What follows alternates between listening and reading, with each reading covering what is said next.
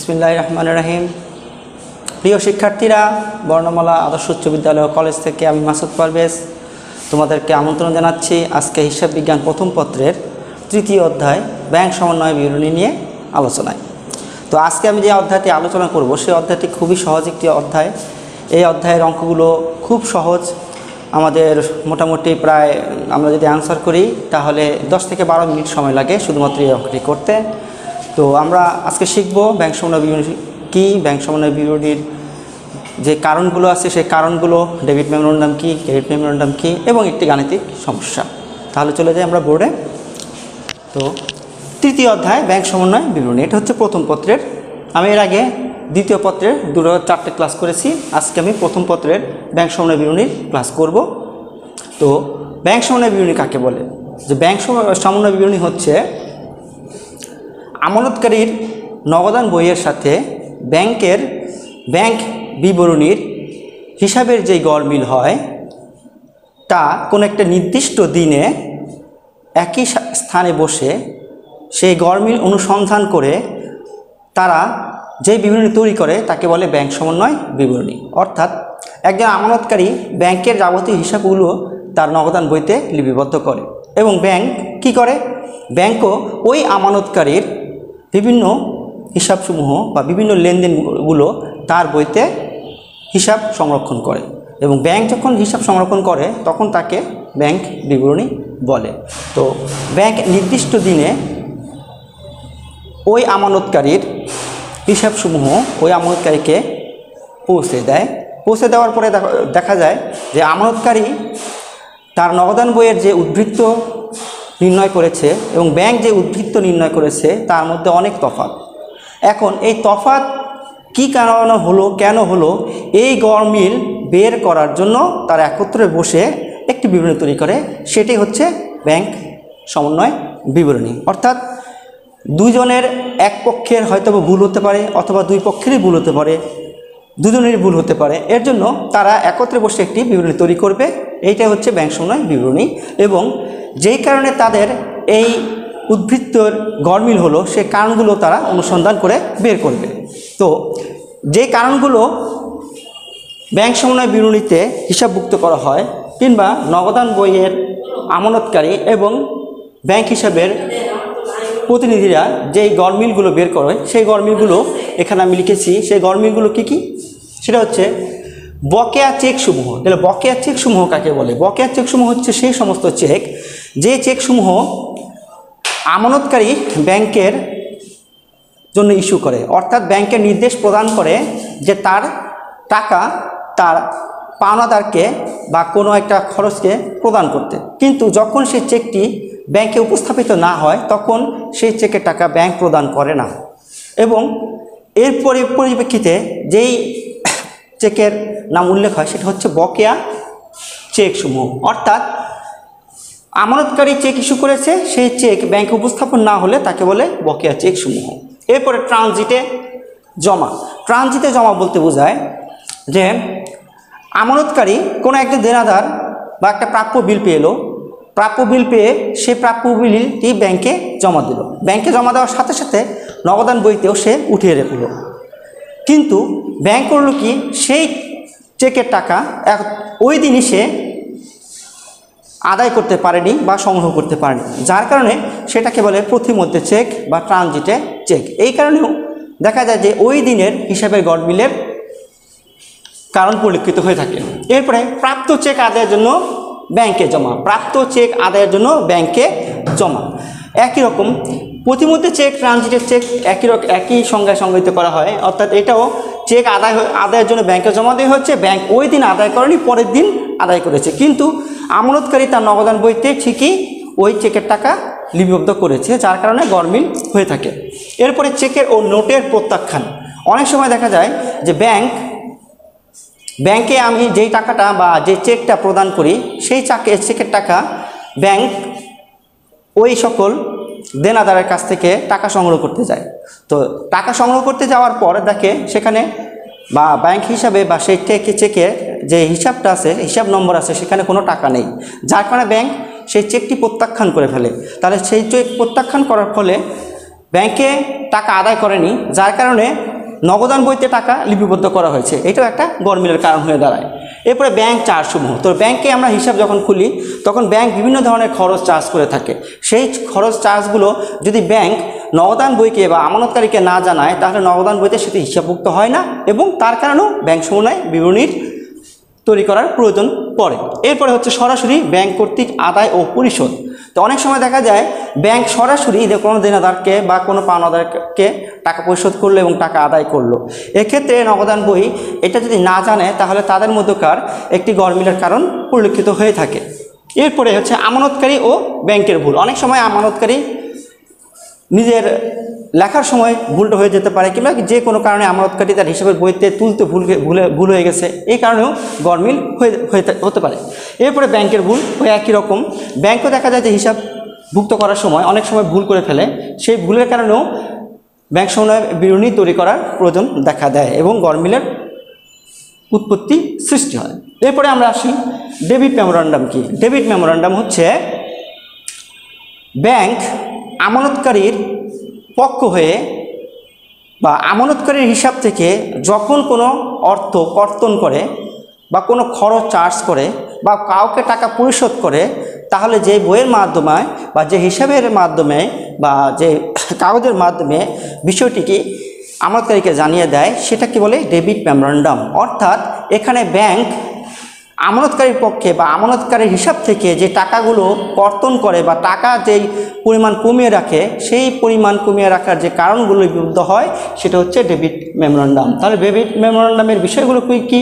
Bank charge ও খরচ বিল পরিশোধ ও সংগ্রহ খরচ, ঋণের কিস্তি পরিশোধ ও অন্যান্য খরচ। অর্থাৎ আমাদের সৃজনশীল প্রশ্ন, ক নম্বর প্রশ্নে এই সচরাচর প্রায় সবসময়ই এই প্রশ্ন দুটো কমন থাকে, যে ডেবিট মেমোরান্ডামের পরিমাণ কত ক্রেডিট মেমোরান্ডামের পরিমাণ কত। তাহলে ডেবিট মেমোরান্ডাম বলতে বোঝায় যে ব্যাংক কর্তৃক যে খরচ চার্জ করা হয় বা ব্যাংক কর্তৃক আমানতকারীর টাকা কমে যাওয়ার যে কারণ লিপিবদ্ধ হয়, সেগুলি হচ্ছে ডেবিট মেমোরান্ডাম এরপর হচ্ছে ক্রেডিট মেমোরান্ডাম ব্যাংক আমানতকারীর পক্ষ হয়ে টাকা সংগ্রহ করলে বা আমানতকারীর টাকা বৃদ্ধি করলে যেটায় যে বইতে বা যেই কাগজে বা যে হিসাব খাতে লেখে সেটা হচ্ছে ক্রেডিট মেমোরান্ডাম।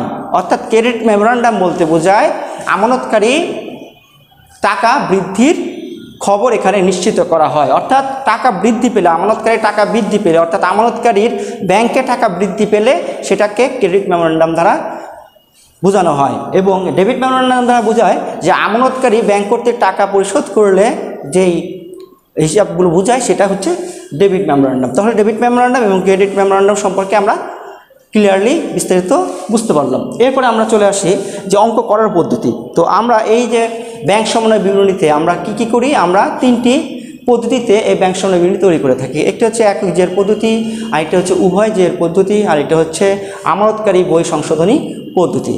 তো একক জের পদ্ধতি বলতে বোঝায় যে দুটি পক্ষ একত্রে বসে, অর্থাৎ ব্যাংক এবং আমানতকারী, ব্যাংক এবং আমানতকারী একত্রে বসে, কোনো একটা নির্দিষ্ট দিনে একত্রে বসে একক ভিত্তিতে, অর্থাৎ নগদান বই অথবা ব্যাংকের বই, দুই বইয়ের যে কোনো এক বইতে ভুল সংশোধন করবে।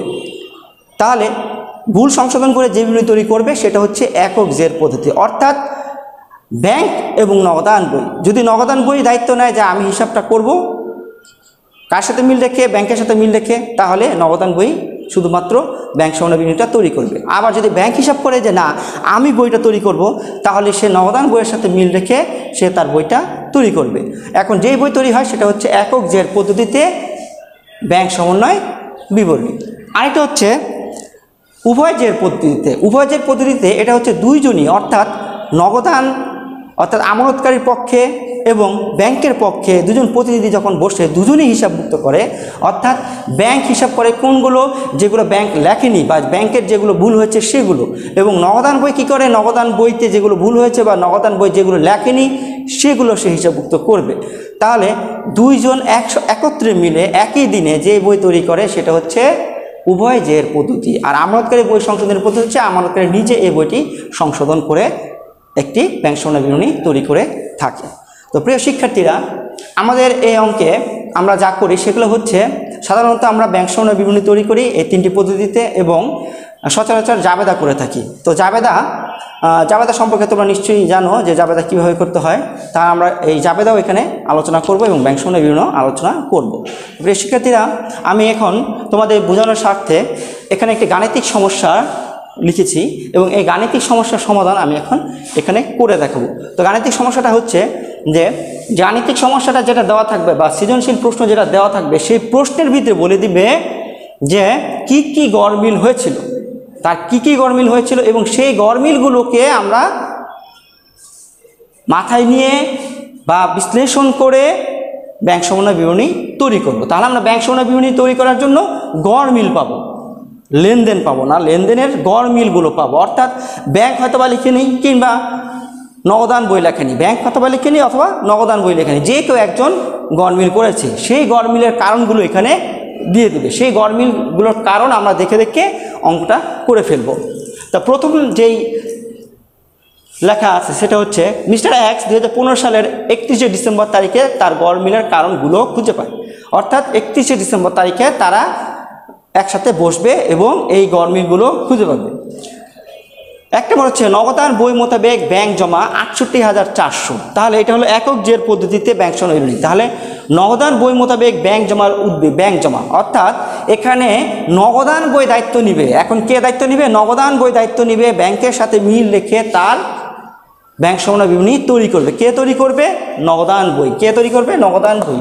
তাহলে এটা হলো একক জের পদ্ধতি। অর্থাৎ একজন যদি দায়িত্ব নেয়, তাহলে সেটা হচ্ছে একক জের পদ্ধতি। দুজন দায়িত্ব নিলে দুজনই উভয় জের পদ্ধতি হয়ে যায়। কিন্তু এখানে ব্যালেন্স শুধু একজনের দেওয়া আছে। সেটা হচ্ছে নগদান বই মোতাবেক ব্যাংক জমা। তার মানে এটা বোঝা গেল যে এটা একক জের পদ্ধতির অঙ্ক হতে পারে।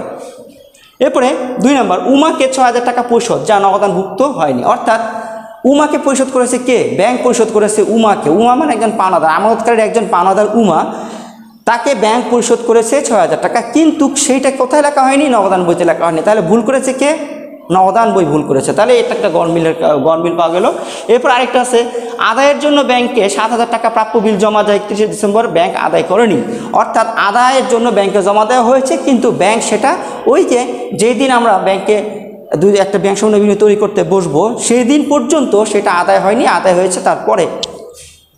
এরপরে চার নম্বর, ব্যাংক জমার সুদ এক হাজার টাকা ও ব্যাংক চার্জ পাঁচশো টাকা। তাহলে ব্যাংক যখন সুদ দেয় বা ব্যাংক চার্জ যখন দেয়, যখন সে আমানতকারীকে যতক্ষণ না পর্যন্ত অবগতি করবে বা যতক্ষণ না পর্যন্ত জানাবে, ততক্ষণ পর্যন্ত ব্যাংকের সাথে এবং নগদান বইয়ের সাথে একটি দূরত্ব সৃষ্টি হবে, একটি গরমিলের সৃষ্টি হবে। সেটাও এখানে ব্যাখ্যা করা হয়েছে। এরপরে পাঁচ নম্বর, আট হাজার ও সাত হাজার টাকার দুইটি চেক ব্যাংকে জমা দেওয়া হয়েছে। কয়টি চেক জমা দেওয়া হয়েছে? দুইটি চেক জমা দেওয়া হয়েছে।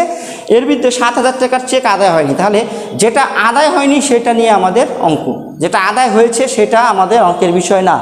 যেটা লিপিবদ্ধ হয়েছে, সুষ্ঠুভাবে লিপিবদ্ধ হচ্ছে হয়তো নগদান বইতেও লিখেছে এবং পাস বইতেও লিখেছে বা ব্যাংক বইতেও লিখেছে, সেটা আমাদের আলোচ্য বিষয় না। আমাদের আলোচ্য বিষয় হচ্ছে যেটা ভুল হয়েছে, তাহলে আমাদের ভুল হয়েছে দুটি চেকের মধ্যে একটি চেক তাহলে সেই একটি চেক নিয়ে আমরা আলোচনা করব। তো আমরা ছয় নম্বর হচ্ছে ব্যাংক বিনিয়োগের সুদ আদায় করেছে এক হাজার টাকা, যা নগদানভুক্ত হয়নি। অর্থাৎ ব্যাংক বিনিয়োগের সুদ আদায় করেছে। ব্যাংক আদায় করেছে কিন্তু নগদান বইতে সেটা লেখা হয়নি। তাহলে এটা একটা গরমিলের কারণ। তিরিশ হাজার টাকার চেক ইস্যু করা হয়েছে কিন্তু উক্ত চেক ব্যাংকে উপস্থাপিত করা হয়নি। অর্থাৎ তিরিশ হাজার টাকার একটা চেক ব্যাংক আমি আমানতকারী তিরিশ হাজার টাকার একটা চেক ইস্যু করেছে। কিন্তু সেই চেকটি ব্যাংকে উপস্থাপন করা হয়নি। তাহলে চেক যদি ব্যাংকে উপস্থাপন না করা হয়, তাহলে ব্যাংক সেই টাকা কাউকে পরিশোধ করবে না। তাহলে এটাও একটা গরমিলের কারণ। এরপর হচ্ছে, ব্যাংক কর্তৃক তিন হাজার টাকা লভ্যাংশ আদায় করেছে, যা নগদান মুক্ত হয়নি। এরপরে কি করল ব্যাংক? একটি লভ্যাংশ আদায় করল, যেটা নগদান বই জানে না, এজন্য নগদান বইতে লেখা হয়নি। এটা একটা গরমিলের কারণ। এই হচ্ছে আমাদের গরমিলের কারণগুলো আমি লিখলাম। এরপরে আমাদের প্রশ্ন আছে, ডেবিট ও ক্রেডিট মেমোরান্ডামের পরিমাণ কত? ডেবিট ও ক্রেডিট মেমোরান্ডামের পরিমাণ কত? তাহলে আমি একটু আগে আলোচনা করেছি যে ডেবিট মেমোরান্ডাম কি এবং ক্রেডিট মেমোরান্ডাম কি। তাহলে ডেবিট মেমোরান্ডাম হচ্ছে এখানে যেগুলো খরচ হবে, যেগুলো খরচ হবে বা যেগুলো ব্যাংক পরিশোধ করবে, সেগুলোকে বলে ডেবিট মেমোরান্ডাম। যেগুলো খরচ হবে এবং যেগুলো ব্যাংক পরিশোধ করবে, সেগুলো হচ্ছে ডেবিট মেমোরান্ডাম। তাহলে এখানে দেখি আমরা ব্যাংক কোনটা পরিশোধ করেছে যেটা পরিশোধ করেছে, ব্যাংক এটা পরিশোধ করেছে। তাহলে এটা ডেবিট মেমোরান্ডাম এটা ডেবিট মেমোরান্ডাম এরপরে হচ্ছে ব্যাংক চার্জ করেছে পাঁচশো টাকা, তাহলে এটা ডেবিট মেমোরান্ডাম ঠিক আছে? এরপরে এখানে আর কর্তন কিংবা পরিশোধের কোনো এন্ট্রি নাই। তার মানে ডেবিট মেমোরান্ডাম হচ্ছে দুটো এটা এবং এটা আমরা কীভাবে লিখব? যে উমাকে পরিশোধ করা হলো ব্যাংক কর্তৃক উমাকে পরিশোধ করা হলো ছ হাজার টাকা। এরপরে ব্যাংক চার্জ পাঁচশো টাকা, দুইটা যোগ করলে অঙ্কটা আমাদের হয়ে যাবে। এরপরে ক্রেডিট মেমোরান্ডাম ক্রেডিট মেমোরান্ডাম কি? ব্যাংক আদায় করেছে বা ব্যাংকে জমা হয়েছে এই সমস্ত লেনদেনগুলো। তাহলে ব্যাংক আদায় করেছে কোনটা? আদায়ের জন্য ব্যাংকে জমা দিয়েছে, আদায় হয়নি, এটা না।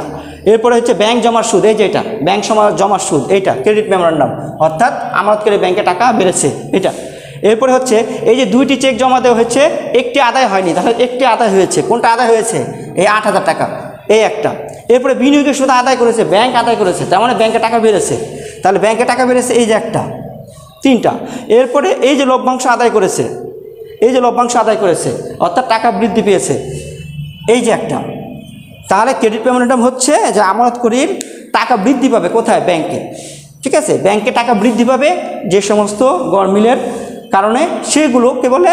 Credit memorandum. আর ব্যাংক থেকে টাকা কমে গেলে বা ব্যাংক পরিশোধ করলে যেগুলো, সেগুলো হচ্ছে ডেবিট মেমোরান্ডাম। তো আমাদের ক নাম্বারটা হয়ে গেল। এবং এখন আমরা করব খ নাম্বার। প্রিয় শিক্ষার্থীরা, আমরা খ নাম্বার প্রশ্নের সমাধান করব।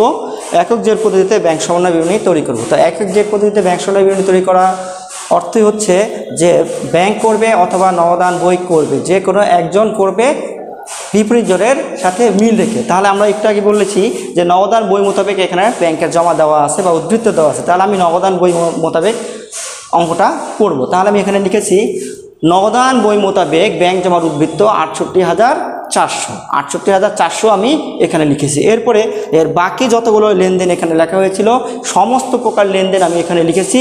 লেখার পরে শুধু টাকাটা আমি এই ঘরে লিখেছি। যেমন এখানে উমাকে ছ হাজার টাকা পরিশোধ করা হচ্ছে, যা নগদানভুক্ত হয়নি। তাহলে আমি এখানে শুধুমাত্র টাকাটা টাকার ঘরে লিখেছি আর বাকি লেনদেনটা এটাই লিখেছি যে ব্যাংক কর্তৃক পরিশোধ যা নবদানভুক্ত হয়নি। পরেরটাও আমি একই কথা লিখেছি যে জমাকৃত প্রাপ্য বিল ব্যাংক এটা কি আদায় করেনি? তাহলে আমি এখানে আদায় করেনি লিখেছি।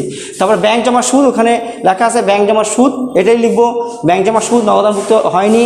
ব্যাংক চার্জ নগদানভুক্ত হয়নি। এই, এই- এইভাবে লিখব। এরপরে আমরা লিখব যে দুইটি চেক, কয়টি চেক? দুইটি চেক জমা দেওয়া হয়েছে, একটি চেক আদায় হয়নি। দুইটি চেক জমা দেওয়া হয়েছে, একটি চেক আদায় হয়নি। কোনটার চেক আদায় হয়নি? সাত হাজার টাকার চেকটি আদায় হয়নি। তা আমি সাত হাজার টাকার চেকটি এখানে লিখব। তারপরে আমরা এরপরে লিখব, ব্যাংক বিনিয়োগের সুদ আদায় করেছে, যা নগদানভুক্ত হয়নি। এটা এখানে আমি এভাবেই লিখেছি, ব্যাংক বিনিয়োগের সুদ আদায় করেছে, যা নগদানভুক্ত হয়নি। এরপরে চেক ইস্যু করা হয়েছে, কিন্তু ব্যাংকে উপস্থাপন করা হয়নি। ওখানে লেখা আছে। আমি ওই কথাটা এখানে লিখেছি যে চেক ইস্যু করা হয়েছে যা ব্যাংকে উপস্থাপন করা। হয়নি, কত টাকা? তিরিশ হাজার টাকা। টাকাটা আমি শুধু টাকা ঘরে লিখেছি। এরপরে ব্যাংক কর্তৃক লভ্যাংশ আদায়। এটাও আমি এখানে লিখেছি ব্যাংক কর্তৃক লভ্যাংশ আদায় যা হয়নি। কত টাকা? তিন হাজার টাকা। তাহলে উদ্দীপকে যে ছয় সাতটি কারণ থাকবে, সেই ছয় সাতটি কারণই এখানে সুন্দর করে একদম সিরিয়াল করে লিখে দিব। একদম সিরিয়াল করে লিখে দিব, শুধুমাত্র টাকাটা টাকার ঘরে লিখব। এখন কীভাবে আমরা অঙ্কটা করলাম? এই যে যোগ বিয়োগ করলাম, এটা হচ্ছে বিয়োগ, এটা বিয়োগ মাইনাস মানে বিয়োগ, আর মাইনাস ছাড়াটা হচ্ছে যোগ। তাহলে এখন কীভাবে এখানে যোগ আসলো এবং এখানে কীভাবে বিয়োগ আসলো সেটা আমরা এখন আমরা শিখব। তো আমি আগে বলেছি, উপরে যা বলা থাকবে, একক যে পদ্ধতিতে যা বলে দিবে, যে শর্ত দিবে, সেই শর্ত অনুযায়ী আমি কি অঙ্কটা করব। বিপরীত জনের সাথে মিল রেখে। তাহলে আমি নগদান বই মোতাবেক ব্যাংক জমার উদ্বৃত্ত অর্থাৎ নগদান বই করতেছে, কার সাথে মিল রেখে? ব্যাংকের সাথে মিল রেখে। ঘটনাটা ভালো করে বুঝবে। আমরা অঙ্ক করতেছি কার বই মোতাবেক? নগদান বই মোতাবেক, নগদান বই মোতাবেক করতেছে, অর্থাৎ নগদান বই শুধু করবে কার সাথে মিল রেখে? ব্যাংকের সাথে মিল রেখে। কীভাবে? একটি ঘটনা পড়বে এই ঘটনাটা পড়বে ঘটনাটা পড়ে যদি বুঝতে, বোঝা যায় যে ব্যাংকে টাকা কম আছে, ব্যাংকে টাকা কম আছে তাহলে সেটা আমি এখানে বিয়োগ করব। ব্যাংকে টাকা কম থাকলে আমি বিয়োগ করব। ব্যাংকে টাকা বেশি থাকলে আমি যোগ করব। ঠিক আছে যখন আমি নগদান বই মোতাবেক অঙ্ক করব, যখন আমি নগদান বই মোতাবেক অঙ্ক করব, তখন আমাকে দেখতে হবে নগদান, ব্যাংকে টাকা বেশি আছে না কম আছে যদি ব্যাংকে টাকা বেশি থাকে তাহলে আমি যোগ করব। ব্যাংকে টাকা যদি কম থাকে, তাহলে আমি বিয়োগ করব, ঠিক আছে? এইটাই হচ্ছে সূত্র। আর কোনো সূত্র নাই, কোনো কিচ্ছু মুখস্থ করতে হবে না, শুধু এতটুকু মুখস্থ রাখলেই হবে যে নগদান বই মোতাবেক করলে ব্যাংকের সাথে মিল রাখব। ব্যাংকে যদি টাকা বেশি থাকে, আমি যোগ করব ব্যাংকে টাকা কম থাকলে আমি বিয়োগ করব। ঠিক একই রকম, যদি এখানে আমি ব্যাংক মোতাবেক লিখি বা ব্যাংক পাস বই মোতাবেক লিখি, তখন আমি নগদান বইয়ের সাথে মিল করব। যে নগদান বইতে বেশি হলে যোগ করব, নগদান বইতে কম হলে বিয়োগ করব, ঠিক আছে? তাহলে আমি এটা নগদান বৈভবতাকে করতেছি এবং এটার মূল মূল রহস্যটা কি? মূল উৎস উদ্দেশ্য হচ্ছে ব্যাংক সমন্বয় বিবরণী তৈরি করা গড় মিলের কারণ নির্ধারণ করা। ব্যাংকে যদি বেশি থাকে টাকা যোগ করব, ব্যাংকে যদি টাকা কম থাকে আমি বিয়োগ করব, ওকে? একদম সহজ কথা। পড়ি আমি, উদ্দীপকটা পড়ি, তাহলে আমরা বুঝতে পারব যে ব্যাংকে টাকা কম আছে না বেশি আছে। ব্যাংক কর্তৃক উমাকে পরিশোধ, তাহলে ব্যাংক যদি পরিশোধ করে, ব্যাংকে টাকা কমে। অবশ্যই কমে। এর জন্য এখানে বিয়োগ চিহ্ন দিয়ে দিলাম। ক্লিয়ার পরের লাইন জমাকৃত প্রাপ্য বিল ব্যাংক আদায় করেনি জমা দিলে টাকা বাড়ার কথা। জমা দিলে কি হয়? টাকা বাড়ে। জমা দিলে টাকা বাড়ে, কিন্তু ব্যাংক তো জমা করেনি। তার মানে ব্যাংকে টাকা কম। ব্যাংকে জমা করেনি, অর্থাৎ ব্যাংকে টাকা কম। জমা করলে ব্যাংকে টাকা বাড়তো, কিন্তু ব্যাংকে কি করছে? জমাকৃত প্রাপ্য বিল ব্যাংক আদায় করেনি মানে আদায় করেনি ব্যাংকে টাকা কম, এর জন্য আমি এখানে বিয়োগ করে দিয়েছি। এরপরে ব্যাংক জমা সুদ ব্যাংক সুদ দিয়েছে। ব্যাংক সুদ দিলে ব্যাংকে টাকা বাড়ে বাড়ে আমানতকারী টাকা বাড়ে। তাহলে আমানতকারী টাকা যদি বাড়ে, তাহলে এটা যোগ। এরপরে ব্যাংক চার্জ করেছে ব্যাংক চার্জ করা মানে ব্যাংক থেকে টাকা, আমানতকারী টাকা কমে যাওয়া। আমানতকারী টাকা কি? কমে যাওয়া। অর্থাৎ ব্যাংকের থেকে টাকা কমে গেছে, তাহলে কমে গেলে বিয়োগ, এখানে বিয়োগ। তারপরে দুইটি চেকের মধ্যে একটি চেক আদায় করেনি। তাহলে আদায় করে নাই, তার মানে টাকা পাওয়া যায় নাই। টাকা পাওয়া না গেলে টাকা কম। তাহলে কম থাকলে এখানে আমি বিয়োগ করে দেব। ব্যাংক বিনিয়োগের সুদ আদায় করেছে। ব্যাংক বিনিয়োগের সুদ আদায় করেছে। তাহলে ব্যাংক যদি বিনিয়োগের সুদ আদায় করে থাকে, তাহলে ব্যাংকে টাকা বেশি যোগ। চেক ইস্যু করা হয়েছে, ব্যাংকে উপস্থাপন করা হয়নি। চেক ইস্যু করা হয়েছে, কিন্তু উপস্থাপন করা হয়নি। অর্থাৎ চেক ইস্যু করলে চেকটি ব্যাংকে যদি যায়, তাহলে ব্যাংক টাকা পরিশোধ করবে। আমি চেক ইস্যু করলাম চেক নিয়ে ব্যাংকে জমা দিলাম। ব্যাংক কী করবে? আমার হিসাব থেকে টাকাটা কমিয়ে দিবে। কিন্তু চেকই ব্যাংক উপস্থাপন করা হয় নাই। অর্থাৎ ব্যাংক জানেই না যে টাকা কমবে। এর জন্য ব্যাংকে টাকা বেশি আছে। ব্যাংক করতেও কাউকে চেকের টাকা পরিশোধ করেনি। ব্যাংক পরিশোধ করেনি। এখানে স্পষ্টভাবে বোঝা যাচ্ছে যে ব্যাংক উপস্থাপন করা হয়নি মানে ব্যাংক টাকা কাউকে দেয় নাই। ব্যাংকে উপস্থাপন করে নাই, টাকা ব্যাংক কাউকে দেয় নাই, তার মানে ব্যাংকে টাকা আছে। তাহলে বেশি আছে, তাহলে এটা আমরা যোগ করব। ঠিক আছে? এরপরে ব্যাংক কর্তৃক লভ্যাংশ আদায়। ব্যাংক আবার টাকা আদায় করেছে, অর্থাৎ ব্যাংকে টাকা বাড়ছে। এর জন্য এখানে আমি যোগ দিয়ে দিয়েছি। এরপরে আমি এখানে কি করলাম? বিয়োগগুলো এবং যোগগুলো সমন্বয় করলাম, অর্থাৎ যোগ বিয়োগ করলাম। যোগ বিয়োগ করে যোগের পাল্লাটা বেশি যোগের পাল্লা কত বেশি? চোদ্দ হাজার পাঁচশো টাকা যোগের পাল্লা বেশি। এই জন্য আমি চোদ্দ হাজার পাঁচশো টাকা লিখলাম। এইটার সাথে এইটা যোগ করে আমি পেয়ে গেলাম বিরাশি হাজার নয়শো টাকা। বিরাশি হাজার নয়শো টাকা। এবং এটার কী নাম দেবো? যেহেতু আমি এখানে লিখছি নবদান বই মোতাবেক ব্যাংক জমার উদ্বৃত্ত, এটার বিপরীতটা লিখব। ব্যাংক বিরুণী বা পাস বই মোতাবেক ব্যাংক জমার উদ্বৃত্ত বিরাশি হাজার নয়শো টাকা। তো প্রিয় শিক্ষার্থীরা, আমরা একক যে পদ্ধতিতে কীভাবে ব্যাংক সময় বিরুণী করতে হয়, সেটা খুব সহজে শিখে গেলাম। শুধুমাত্র শেখার কৌশলটা কি? নবদান বই মোতাবেক করলে ব্যাংকে টাকা বেশি থাকলে যোগ করব, ব্যাংকে টাকা কম থাকলে আমি বিয়োগ করব। তো এখন আমরা জাবেদা সম্পর্কে কিছু বলব। যে বলছে, দুই নাম্বার, চার নাম্বার, ছয় নাম্বার, সাত নংয়ের জাবেদা দেখাবো। খুব সোজা, জাবেদা তো খুব সোজা। আর এটার জাবেদা ব্যাংক সময়ের বিভিন্ন জাবেদা আরও বেশি সোজা। কারণ এখানে জমা আর বলবে আর কর্তন বলবে, জমা বলবে আর কর্তন বলবে, টাকা বাড়বে এবং টাকা কমবে এখানে। ব্যাংকে টাকা বাড়বে, ব্যাংকে টাকা কমবে। ব্যাংকে যদি টাকা বাড়ে, তাহলে ব্যাংক ডেবিট, যেই কারণে বাড়বে সেটা ক্রেডিট। ঠিক আছে? ব্যাংকে টাকা বাড়লে ব্যাংক ডেবিট হবে, যেই কারণে বাড়বে সেটা ক্রেডিট এরপরে ব্যাংক থেকে টাকা কমে গেলে ব্যাংক ক্রেডিট হবে, আর যেই কারণে ব্যাংকে টাকা কমবে সেটা ডেবিট হবে। খুব সহজ। তাহলে দুই নম্বরটা চলে আসি আমরা। উমাকে ছ হাজার টাকা পরিশোধ। তাহলে উমাকে উমাকে পরিশোধ করছি। মানে ব্যাংকে থেকে টাকা কমে গেছে, তাহলে উমা হিসাব ডেবিট ব্যাংক হিসাব ক্রেডিট জাবেদা শেষ হয়ে গেল। চার নম্বর চার নম্বর ব্যাংক জমার সুদ। ব্যাংক জমার সুদ হলে ব্যাংকে টাকা বাড়ে। তাহলে ব্যাংক ডেবিট ব্যাংক জমার সুদ ক্রেডিট আর ব্যাংক চার্জ করলে ব্যাংকের থেকে টাকা কমে, তাহলে ব্যাংক চার্জ হিসাব ডেবিট ব্যাংক ক্রেডিট এটা নর্মাল জাবেদা। সবসময় এই জাবেদাগুলো পড়ে এসেছ ওই রকম জাবেদাই দিবা। ছয় নম্বর ছয় নম্বর হচ্ছে ব্যাংক বিনিয়োগের সুদ আদায় করেছে। ব্যাংক আদায় করেছে। তাহলে ব্যাংকে টাকা বাড়ছে, তাহলে ব্যাংক হিসাব ডেবিট কীভাবে বাড়লো? বিনিয়োগের সুদের মাধ্যমে বাড়লো। তাহলে বিনিয়োগের সুদ হিসাব ক্রেডিট এরপরে ব্যাংক কর্তৃক তিন হাজার টাকা লভ্যাংশ আদায়। তাহলে ব্যাংক লভ্যাংশ আদায় করেছে। তাহলে ব্যাংক হিসাব ডেবিট লভ্যাংশ হিসাব ক্রেডিট তো প্রিয় শিক্ষার্থীরা, আজকের ক্লাস এখানে শেষ করব আমি। ব্যাংক সমন্বয় বিবরণী সম্পর্কিত যে আলোচনা করলাম, আশা করি তোমরা সবাই বুঝতে পেরেছ, উপকৃত হয়েছো। আগামী ক্লাসে নতুন আরেকটি সৃজনশীল প্রশ্ন নিয়ে উভয় যে পদ্ধতি কীভাবে করতে হয় সেটা আমরা আলোচনা করব। ততদিন পর্যন্ত ভালো থাকো, বাড়িতে থাকো, পড়াশোনা করো বাবা মার সেবা করো, পুষ্টিকর খাদ্য গ্রহণ করো। আল্লাহ হাফেজ।